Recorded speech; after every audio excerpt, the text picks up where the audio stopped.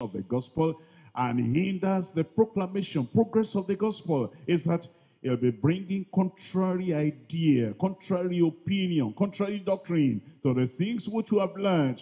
And the Lord is saying the, the way you overcome that Satan, when people bring something contrary, you avoid them. I pray God will give you obedient heart.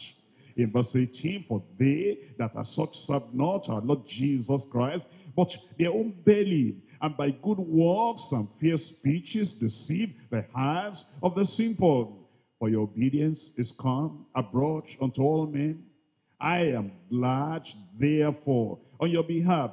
But yet I would have you wise unto that which is good and simple concerning evil.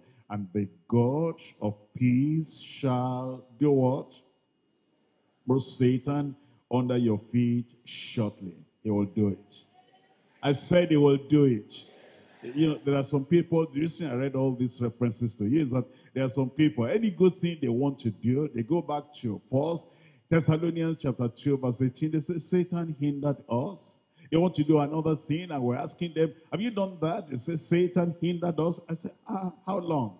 Is Satan going to hinder you? If he's closing one door, are you just staying and standing? You are listening to our pastor, Pastor W. F. Kumuyi, or other anointed minister of God from our ministry.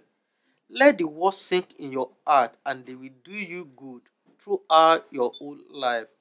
It is our belief by the grace of the Lord that you will come and worship with us at Deeper Life Bible Church, 40, number 4656 Bravo Drive. We have our service every Sunday from 9 a.m. to 11.30 and we have our Bible study on every Monday from 7 to 8.30.